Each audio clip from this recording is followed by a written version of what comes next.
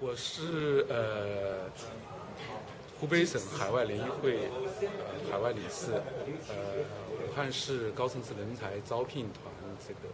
多伦多呃联络处的负责人，呃加拿大呃卓越教育集团陆岳峰。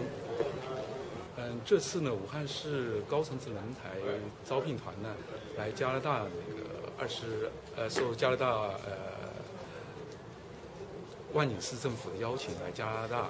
呃，二十一号到二十三号，这次人才招聘团呢，呃，希望在加拿大呢招聘更多的呃中国在海外的在加拿大的高层次人才，包括呃新能源、新材料、汽车、电子、通讯，呃等各方面的高级人才，呃涵招聘单位呢涵盖了呃。政府机构、大学、研究所，还有设计院所以及世界五百强的那个单位。那么我们这次总共呢带了呃三百六十多个高级职位和三十二家呃就是政府企业和这个研究院所的单位。那我们这次来加拿大这个招聘呢，我们深知这个加拿大呢呃是人才济济，我们华人在加拿大有六十呃多伦多就就有六十多万。那么这其中呢，有很多呃当年留学，呃在加拿大留学取得呃学业成就的，也有很多后来来到加拿大，在加拿大事业有成的一些人人才。所以我们希望通过这一次招聘会呢，把更多的优秀的招聘人才呢，能够呃让他们回到中国，回到武汉，有一个呃发挥自己呃才能，为中加这个。经济的发展、科技的发展做出更多的贡献。那么我们这次呃在加拿大招聘的时间虽然很短，但是呢，我们有几个特点。一个特点就是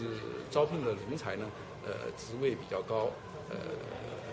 而且规模比较大。呃，第二个特点呢，我们这次招聘人才呢，呃，我们更期望是和人才有更多直接的交流，直接面对面的交流，让他们不仅是呃了解。这个要招聘什么职位，更多的让他们了解呃中国，了解武汉的在高技术人才这个上面的一些呃政策，比方说我们的黄鹤英才计划，呃我们武汉市的人才有十几个国家级的那个人才计划，那么这些计划给人才在武汉的发展提供了很大的空间和机遇。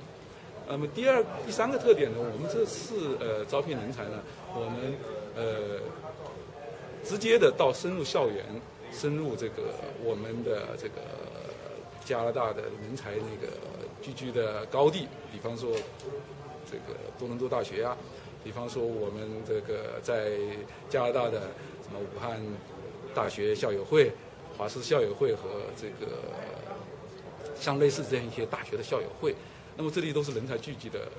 高地。我们希望和这些人才有一个深入的沟通，深入沟通。还有一个特点就是说，我们这次招聘呢，就是说不仅仅只是说招聘一个职位一个人才，我们更多的是希望通过这种交流，把我们的高技术人才呢引入到引入到中国。同时呢，这个项目呢也不只是说只是你回去就一个职位，我们可能还有很多的呃促进的高技术的项目的一些合作，也可以在这个招聘会上呢，呃展现我们华人的高技术人才在加拿大的成就。呃，让中国、让武汉更多的了解我们加拿大的华人的成就。人才回归有什么优惠没有？嗯，这次招聘呢，呃，有非常多的优惠条件，因为在武汉市呢，呃，作为国家中部发展的重大城市，呃，武汉市有黄鹤英才计划等十大人才项目，呃，这些人才项目呢，除了武汉市政府、湖北省政府，还包括国家，都给予了很大力度的支持。所以说呢，呃，人才的待遇，包括他们一些实际的困难，包括小孩的入学问题啊，包括科研经费的启动问题啊，啊，都会有很多呃和以往不同的地方，给很多的支持。所以，呃，这次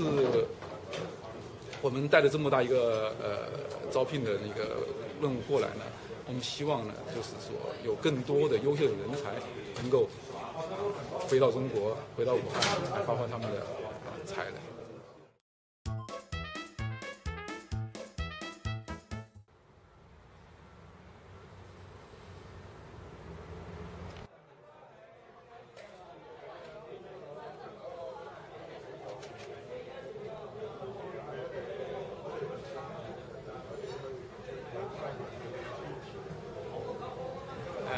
代表爱心教育慈善基金会和环球教育基金会了，这次组团到中国陕西进行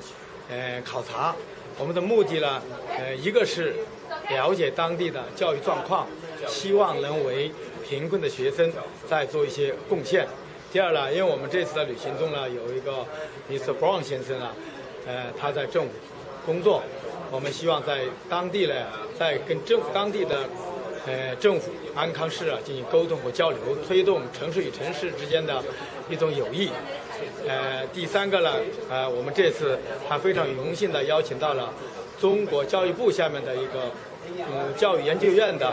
一位嗯研究员教授，他跟我们一同去进行教育考察，所以这次应该是内容丰富，呃，行程极其有意义的，希望我们能为做一些事情。希望达到什么目的呢？达到的目的，一个是加强城市与城市之间的交流。一个是呢，推动当地的经济的发展，呃，推动两国之间的贸易经济发展，推动这个爱心教育在中国慈善事业的发展。感谢收看今天的大多故事，我们下期再见。